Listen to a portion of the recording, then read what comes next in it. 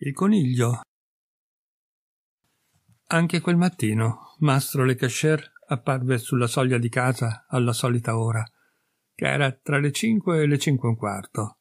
Si alzava presto per sorvegliare i lavori della fattoria. Rosso in faccia, per metà sveglio, l'occhio destro aperto, l'altro semichiuso, faticava ad abbottonare le bretelle del pancione e già mandava in giro sulla fattoria lo sguardo di padrone cui nulla sfugge. Il sole filtrava obliquo fra i faggi del fossato e i meli della corte e faceva cantare i galli sulla concimaia e tubare sul tetto i piccioni. La porta della stalla era aperta e il sentore che ne usciva si mescolava nell'aria fresca del mattino con quello acre della rimessa, dove i cavalli, volgendo la testa al sole, nutrivano. Quando i pantaloni furono fissati saldamente alle bretelle, mastro Le Cachere si mosse, avviato per prima cosa al pollaio a contar le uova che le galline avevano fatto, poiché da un po' di tempo sospettava che gliele rubassero. Ma a mezza strada, ecco, corregge incontro scalmanata la ragazza della fattoria. Padron Cachet, padron Cachet! Stanotte hanno rubato un coniglio. Un coniglio? Sì, padron Cachet, in grosso, grigio, della gabbia di destra. Il padrone aprì del tutto l'occhio semichiuso e disse Ah, questa. Vediamo un po. Davanti alla gabbia vuota e aperta, l'uomo si fece pensieroso. Chiuse l'occhio destro e si grattò il naso. Riflettuto che ebbe, disse alla serva che stava lì con la faccia spaurita e spaventata. Va a cercare i gendarmi, che vengano subito, vi aspetto. Padrone Cacher era sindaco a Pavigny-le-Gras e un po' per questo, un po' per il suo denaro, vi faceva il buono e il cattivo tempo. La fattoria distava dal villaggio mezzo chilometro. Quando la serva, partita di corsa verso il villaggio, sparì dalla vista, il contadino rientrò in casa per sorbire il caffè e comunicare la novità alla moglie. La trovò che soffiava nel fuoco in ginocchio davanti al camino. Dalla soglia il marito le disse Sai, hanno rubato un coniglio, il grigio, quello grosso. Lei si voltò con tanto impeto che finì a sedere per terra. Guardando il suo uomo con occhi desolati, disse Che dici mai? Han rubato un coniglio. Il grosso, grigio. Il grosso, grigio. tirò un sospiro. Che guaio. Chi può averlo rubato, sto coniglio? Era una donnetta magra e vispa, pulita, che, che sapeva far fruttare tutto e non lasciava oziosi né terra né cristiani. Un sospetto le Cachere l'aveva. Deve essere quel furfante di Polit. La fattoressa fu in piedi di colpo e andando in collera È lui, è lui, decise. Non c'è bisogno di cercar altro, è lui.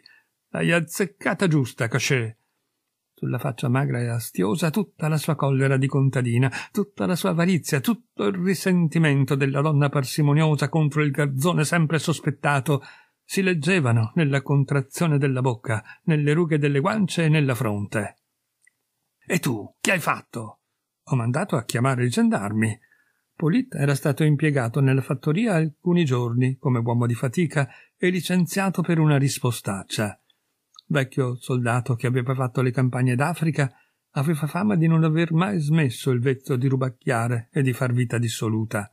Per tirare avanti faceva un po' tutti i mestieri muratore, sterratore, carrettiere, falciatore, spaccapietre, portatore, ma il suo mestiere preferito restava quello del fannullone, per cui non durava in nessun posto, e per trovare lavoro doveva ogni tanto cambiare aria. La moglie di Le Cocher non l'aveva potuto soffrire dal primo giorno, e ora avrebbe messo la mano sul fuoco che il ladro del coniglio era lui. Mezz'ora dopo arrivava il brigadiere Senateur con il gendarme Lenien, uno spilungone magro il primo, grasso e tozzo l'altro. Le Cacher li fece sedere e li mise al corrente. Li condusse poi sul teatro del delitto, perché potessero constatare che c'era scasso, e per tutti i rilievi del caso. Rientrati, la fattoressa portò del vino, riempì i bicchieri e con uno sguardo che non testimoniava grande fiducia chiese Lo prenderanno? Il brigadiere, con la sciabola tra le gambe, pareva avesse al riguardo i suoi bravi dubbi. Certo, se gli dicevano chi era. Del resto si incaricava lui, altrimenti. Infatti, il frutto delle sue lunghe elucubrazioni fu la domanda Sapete chi è stato? La malizia del normanno mise una piega sulla grossa bocca di Lecacher, che rispose Sapere chi è stato? No, non lo so, perché non l'ho visto a rubare. L'avessi visto gli avrei fatto inghiottire il coniglio crudo, pelo e tutto, senza neanche un sorso di sidro che lo aiutasse a mandarlo giù. Quindi dire chi è stato non posso dirlo, sebbene sospetti che sia stato quel fannullone di Polit. E iniziò un interminabile racconto di quel che era avvenuto tra loro, come l'aveva messo alla porta, lo sguardo che il garzone gli aveva lanciato, i propositi di vendetta che gli erano stati riferiti, una quantità insomma di indizi, particolarizzati quanto insignificanti. Il brigadiere, che aveva ascoltato tutta quella storia con grande attenzione, senza tuttavia scordarsi di bere il suo bicchiere e di mescerne senza parere un secondo, rivolto al subalterno. Bisognerà vedere un po' in casa della moglie di quello stupido di Severin. Il gendarme sorrise e tre volte accennò col capo d'aver capito l'idea del superiore, mentre la Lecasher si avvicinava al brigadiere e mettendo in opera la sua astuzia lo interrogava su Severin. Ed ecco che cosa ne venne fuori. Il nominato Severin era un pastore, un sempliciotto, un animale più che un uomo, che allevato in un ovile era cresciuto sui monti in mezzo al belare delle sue bestie irrequiete, conoscendo solo esse al mondo, e che pure aveva conservato in fondo all'anima l'istinto contadinesco del risparmio. Bisognava credere che per anni e anni avesse nascosto nel cavo degli alberi o nelle fessure delle rocce tutto il denaro che guadagnava, sia guardando le pecore, sia guarendo, con formule e toccamenti, le storte degli animali, arte che gli aveva insegnato un vecchio pastore, del quale aveva preso il posto. Fatto si è che un bel giorno poté disporre di tanto denaro da comperarsi in un'asta pubblica un pezzo di terra e una caciupola, che pagò tremila franchi. Ma non basta. Qualche mese dopo questo acquisto si veniva a sapere che Severin convolava a nozze, sposando una serva d'osteria ben nota per i suoi costumi scandalosi. Si raccontava che costei, sapendo il pastore danaroso, di notte l'andava a trovare nella sua capanna e che così a poco a poco l'aveva abbindolato sino a farsi condurre all'altare sposata in chiesa e in municipio, abitava ora la casa che lui s'era comprato, mentre il marito notte e giorno continuava a spingere di pianura in pianura le grazie al pascolo. Il brigadiere aggiunse sono tre settimane che Polite dorme con lei, visto che non ha dove posare il capo, quel briccone. Il gendarme si permise di commentare. Porta via il guanciale all'altro. Alla rabbia del patito furto, aggiungendosi quello della donna, maritata regolarmente contro lo sfacciato libertinaggio, un nuovo accesso d'ira assalì la Lecacher, che sbottò. È lei, ci metto la mano sul fuoco. Ah, su dicioni di ladri. Andate, andate a vedere. Ma il brigadiere non aveva fretta. Un momento, disse. Aspettiamo mezzogiorno. Come ci dorme ci pranzerà. Li sorprenderò col muso nel piatto. Il gendarme sorrideva approvando l'idea del capo e anche Licacher sorrideva ora al pensiero di Severin, perché un marito trova sempre divertente che un altro marito sia becco. Era suonato da poco mezzogiorno, quando il brigadiere senateur, seguito dal suo satellite, batteva tra leggeri colpi alla porta d'una casetta solitaria, costruita all'angolo di un bosco a cinquecento metri dal villaggio. Addossati al muro in modo da non essere scorti dall'interno, attesero non avendo ricevuto risposta, dopo uno o due minuti il brigadiere bussò di nuovo. Dato il silenzio, si sarebbe detto che in casa non ci fosse nessuno, ma Lenien, che era d'orecchio fino, fece capire che nell'interno c'era qualcuno che si muoveva. Senatera allora si indispettì. Non ammetteva che non si obbedisse all'autorità sull'istante e battendo l'elsa contro il muro gli gridò parole sacramentali. In nome della legge, aprite! e poiché anche adesso la porta restava chiusa, urlò Se non aprite, faccio saltare la serratura. Sono comandante della gendarmeria, per Dio. Attenzione, Lenien. Non aveva finito che la porta s'aprì e s'affacciò una ragazzona scalmanata, grassa e soda, col seno scoperto, larga di anche, un pezzo di femmina sanguigna e bestiale, la moglie di Severin. Senator entrò in casa. Vengo a farvi visita per via d'una piccola inchiesta. senatore entrò in casa e girava l'occhio intorno. Sulla tavola un piatto, due coltelli, un boccale di sidro, un bicchiere pieno a metà testimoniavano d'un pasto interrotto. Il gendarme maliziosamente strizzò l'occhio al suo capo che disse C'è odor di buono qui. Coniglio saltato, sembra, rincarò Lenien non nascondendo la soddisfazione. Gradite un bicchiere d'acqua vite? disse la donna. Grazie, no. Quel che desidererei è la pelle del coniglio che mangiate. Lei fece l'ingenua. Che coniglio? Ma tremava. Il brigadiere intanto s'era seduto e si asciugava con molta flemma la fronte. Andiamo, andiamo, padrona. Non ci farete credere che facevate colazione con le lenticchie e basta, che stavate mangiando tutta sola. Ma niente di niente, vi giuro, un po' di burro sul pane. Bugiardella, un po' di burro sul pane. Volete dire piuttosto un po' di burro sul coniglio? Sa di buono il vostro burro.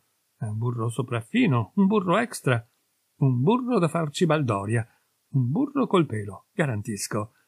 Non è un burro casalingo, cotesto burro. Il gendarme teneva Bordone al capo. Garantisco che non è un burro casalingo. Poiché il capo amava le burle, tutta la gendarmeria era diventata scherzosa. E dov'è il vostro burro? Il mio burro? Sì, il vostro burro. Ma nel recipiente. Diciamo allora, dov'è il vostro recipiente? Che recipiente? Il recipiente del burro, per d'incibacco. Eccolo qui. Andò a prendere una tazza sbrecciata, in fondo alla quale si stendeva uno straterello di burro salato, rancido. Il brigadiere lo annusò e scudò il capo. Non è questo. Mi occorre il burro che sappia di coniglio saltato in padella. Su via. Venian aprì l'occhio. Da un'occhiata alla credenza, ragazzo mio. Io vado a darne una sotto il letto.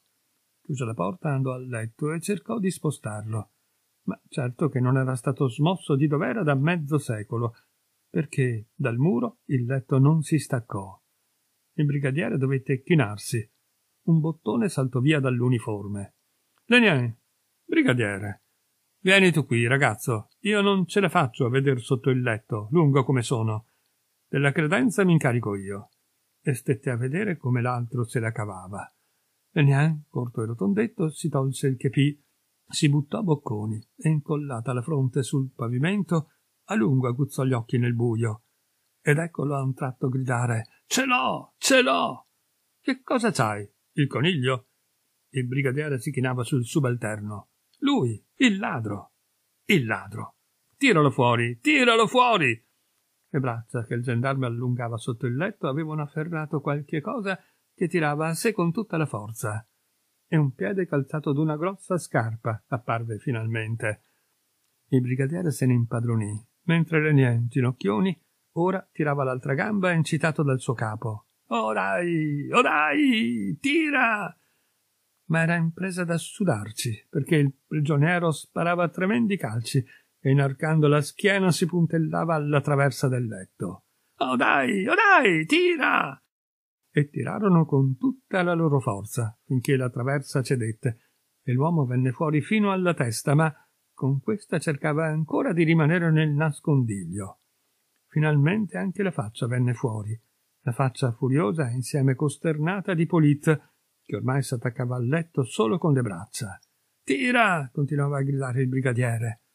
Allora s'udì un inatteso tintinnio di metallo, e quando dietro le spalle vennero fuori le braccia e dopo le braccia le mani, si vide che una di esse stringeva il manico d'una casseruola, e anche la casseruola venne alla luce, con dentro il coniglio in fricassè. Ah, ci siamo, ci siamo! urlava il brigadiere giubilante, mentre il suo subalterno incatenava il prigioniero.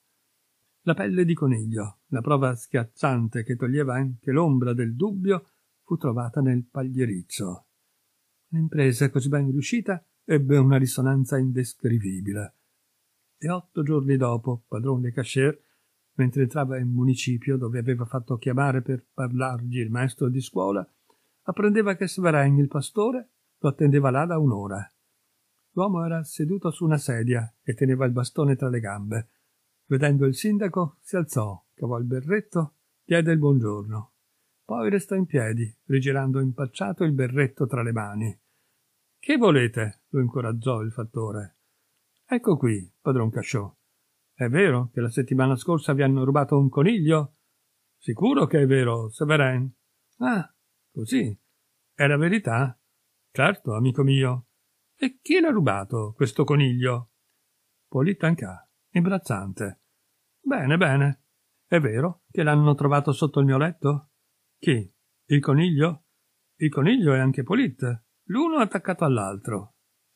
Sì, mio bravo Sovereign, è vero. Dunque, proprio vero? Già. Ma chi vi ha raccontato cotesta faccenda? Un po' tutti, io so chi. E poi, e poi, la sapete lunga voi sul matrimonio? Voi che li fate, i matrimoni? Voi che siete sindaco? Come sul matrimonio? Sì, per quello che riguarda il diritto. Riguardo il diritto del marito e poi della moglie. Ma sì. Ebbene, ditemi un po', padron Cachot. Mia moglie ha diritto ad andare a letto con Polite? Ma no, ma no, non ha diritto. E se mi capiterà di pescarli, ho diritto di dargliene a lei e a lui? Ma sì, ma sì. Allora per il momento va bene. Vi dirò. La settimana scorsa, una notte che avevo dei pensieri, rincasai e li trovai che di certo non si voltavano la schiena. Polito lo mandai a dormir fuori, ma nient'altro, dato che non conoscevo i miei diritti. Questa volta non li ho visti, l'ho saputo dagli altri. Lasciamo perdere e non parliamone più. Ma se li ripesco, corpo d'un diavolo, se li ripesco, mi faccio passar la voglia di spassarsela, padron Cachot. Com'è vero che mi chiamo Severin.